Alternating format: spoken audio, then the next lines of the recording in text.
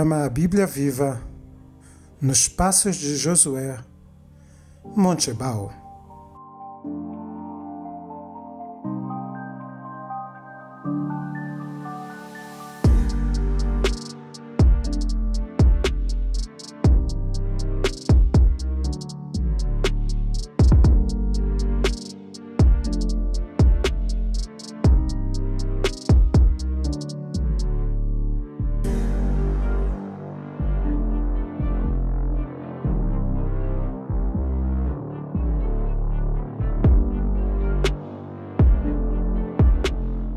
Estamos bem em frente ao altar de Josué sobre o Monte Ebal. Nós estaremos descendo aqui do topo do Monte Ebal em direção ao altar de Josué lá embaixo. E eu estarei compartilhando com vocês um pouco mais sobre este local incrível, que foi descoberto há cerca de 20 anos atrás. O altar de Josué, de 3.200 anos atrás. Eu quero convidar a você para me seguir pelas páginas da Bíblia. Esta é a minha segunda jornada por este local incrível, que fica localizado no norte da Samaria. O Monte Ebal é a montanha mais elevada na região da Samaria e chega a atingir 940 metros acima do nível do mar. Em dias claros, o visitante pode contemplar até mesmo Tel Aviv, que está distante a mais de 60 quilômetros da região. O Monte Ebal, juntamente com o Monte Gerizim, são os principais montes citados na Bíblia no Velho Testamento, na região da Samaria. E foi aqui, segundo as Escrituras, que foram proclamadas a bênção e a maldição. Aqui, o povo de Israel se tornou uma nação.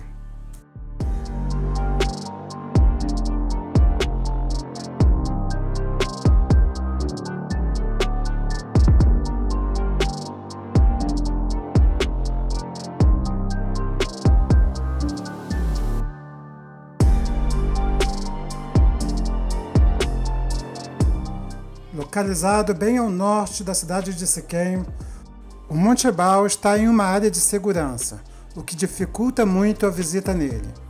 Porém, duas ou três vezes por ano, o exército permite que os israelenses venham visitar a região sob os cuidados das forças de defesa. E é em um dia desses que temos o privilégio de trazer para vocês essas imagens.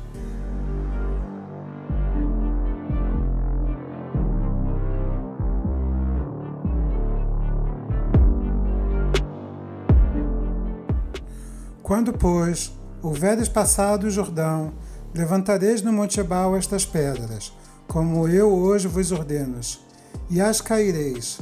Também ali edificarás um altar ao Senhor teu Deus, um altar de pedra, não alçarás ferramentas sobre elas. De pedras brutas edificarás o altar do Senhor teu Deus, e sobre ele oferecerás holocaustos ao Senhor teu Deus. E ali comerás e te alegrarás perante o Senhor teu Deus. Deuteronômio 27, de 4 a 7. Eu estou bem em frente ao altar que foi descoberto por Adam Zartal em 1996. Vocês podem ver estas inclinações aqui. Elas foram feitas há cerca de 3.250 anos atrás para que não se pisasse com a sola do pé sobre é, o altar em si, visto que isso seria uma profanação do altar. O altar está feito exatamente conforme a descrição que está na Mishnah. E vamos mostrar também no vídeo alguns artefatos incríveis que foram descobertos na escavação deste altar. Nós vamos seguir adiante pelas páginas da Bíblia.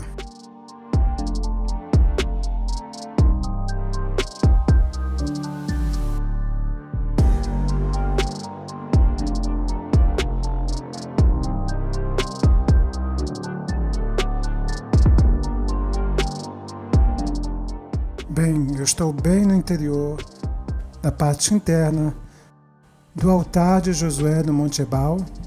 Bem, o que você está vendo aqui eram dois cômodos que eram utilizados provavelmente para guardar as ferramentas do sacrifício.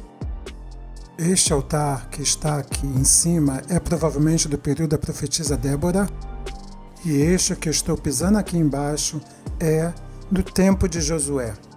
Aqui foram encontrados cerca de 900 ossos de animais, em grande maioria animais apropriados para o sacrifício. O que comprova que este era realmente um altar e não apenas uma torre de vigia. Além disso, foram encontrados aqui selos que vieram do Egito, o que comprova que o povo que vivia aqui, que utilizava esse altar de sacrifícios, era o povo de Israel que havia chegado do Egito. A cerâmica também nos dá indicação do período do altar.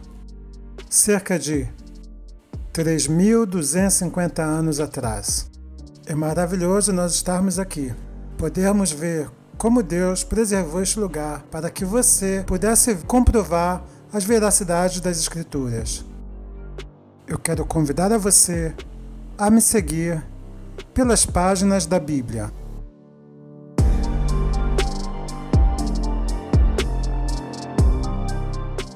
Quando Adam Zartar escava este altar, ele encontra aqui uma grande quantidade de cinzas, uma quantidade imensa, o que mostra que realmente esta construção não era simplesmente uma construção agrícola ou uma torre de vigia, mas sim um altar de sacrifícios. Ele está cercado por todos os lados de muralhas de contenção, muralhas que separam o local profano do lugar santo. Essas muralhas visavam impedir que as pessoas passassem diretamente, sem passar por um processo de purificação. E aqui embaixo foram encontrados os selos dos israelitas que trouxeram do Egito, além de milhares de fragmentos de cerâmica da época de Josué. Nós vamos seguir adiante pelas páginas da Bíblia.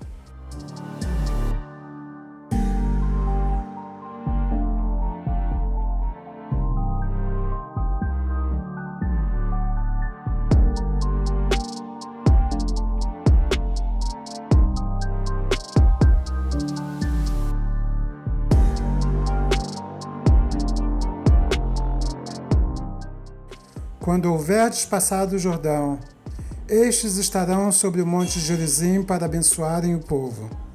Simeão, Levi, Judá, Issacar, José e Benjamim estarão sobre o monte Ebal para pronunciarem a maldição. Ruben, Gad, Aser, Zebulon, Dan e Naphtali. Deuteronômio 27, 12 e 13.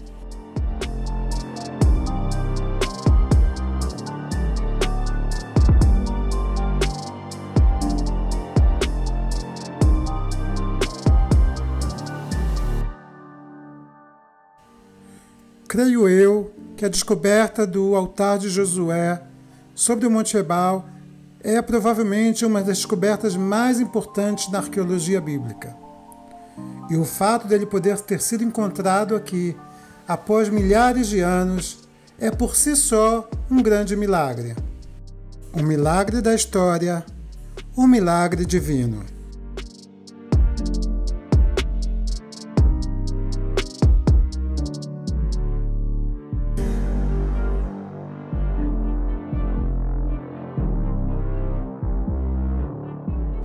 3.250 anos depois, eu mesmo tenho o privilégio de descer pela mesma rampa que os sacerdotes desceram do altar, após terem terminado de sacrificar ao Senhor.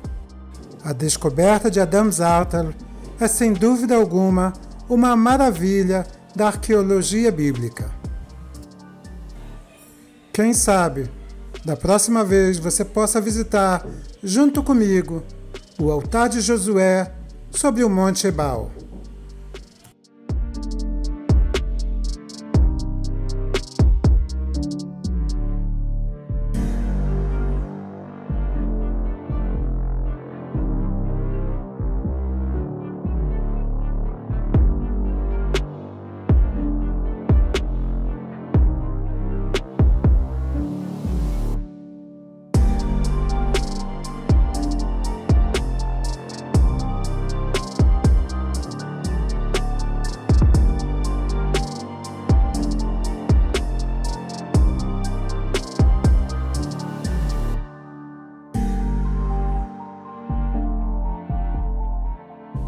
Minha esperança é que esta visita incrível pelo altar de Josué sobre o Monte Ebal tenha servido para esclarecer um pouco mais sobre o fundo histórico, arqueológico e geográfico da Bíblia.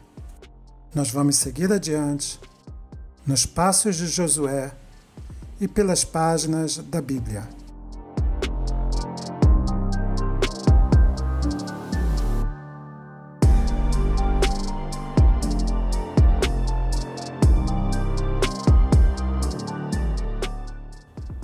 Programa A Bíblia Viva, nos Passos de Josué, Montebal.